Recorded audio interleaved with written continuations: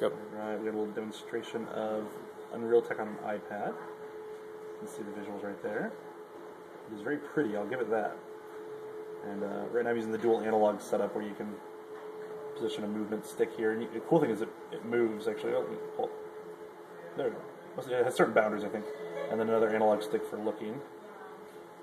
Kind of come into the environment a little bit. You can also tap to where you want to go and look around. And Jenny brought us food. We're, we're taking video of, of a little thing on an iPad. You're interrupting our awesome video. You are now. You're going to be on the YouTubes. You are. And you can see it's actually got a guide into it if you just want to see some of the spaces. But it's all running in real time on the Unreal Engine, so it's actually pretty stinking impressive. I will give it that. Nice little reflections and stuff. So, uh, yeah, So, uh, there you go.